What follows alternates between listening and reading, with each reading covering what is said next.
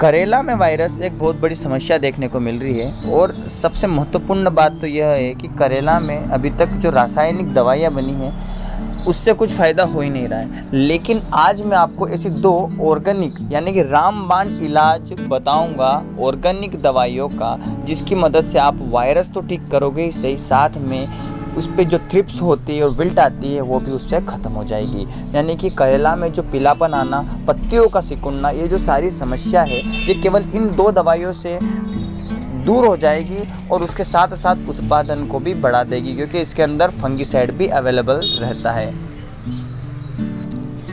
तो अगर आपको जानना है कि वो दवाइयाँ कौन सी है और कैसे काम करती है तो वीडियो को अंत तक देखिएगा। चलिए शुरू करते हैं। बात कर लेते हैं वायरस के बारे में। तो करेला की जो फ़सल है, उसमें एक मुजेक रोग नाम का एक वायरस लग जाता है। उससे पत्तियाँ क्या होती है? सिकुड़ जाती है। और एक बार जब ये वायरस लग जाता है तो फिर उसका काम सफ़ेद मक्खियाँ खुद ही खुद कर देती है। यानी कि सफ़ेद मक्खियाँ क्या करती है कि वायरस को एक से दूसरे को, दूसरे से तीसरे को, ऐसे सारे पौधों के ऊपर बैठ बैठ कर सारी फ़सल को प्रभावित करती है और साथ में थोड़े समय बाद जब वायरस बढ़ जाता है तो हमारी फ़सल भी नष्ट हो जाती है। तो इस रोग को लगने के तुरंत 20 या 25 दिन बाद ही हमें दवाई छाट देना चाहिए, क्योंकि अगर दवाइयों का छिड़काव आप नहीं करोगे तो वायरस ज़्यादा फैलेगा और 20 से 25 दिन मैंने इसलिए बताए हैं क्योंकि वायरस को पहचानने में हमें यहाँ पर लगभग 20 से 25 दिन तो लग ही जाएगा।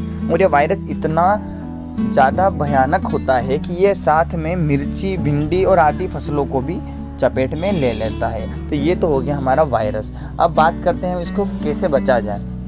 तो रासायनिक दवाइयाँ तो वो भी मैं आपको बता दूँगा कि जो अच्छे से काम करती है, लेकिन पहले मैं आपको ऑर्गेनिक दवाई बताता हूँ। ऑर्गेनिक दवाई की अगर हम यहाँ पर बात करें तो केवल दो ऐसी दवाई है, जिससे आपको लगभग 80 परसेंट रिज़ल्ट मिलना ही है। तो सबसे पहले हम दवाई की बात करें तो वो होती है लाइसोरस, और एक आता है यहाँ पर मिटीसाइड लाइसोरस का काम होता है वायरस को ठीक करना, और मिटीसाइड का काम होता है माइट्स और थ्रिप्स को ठीक करना।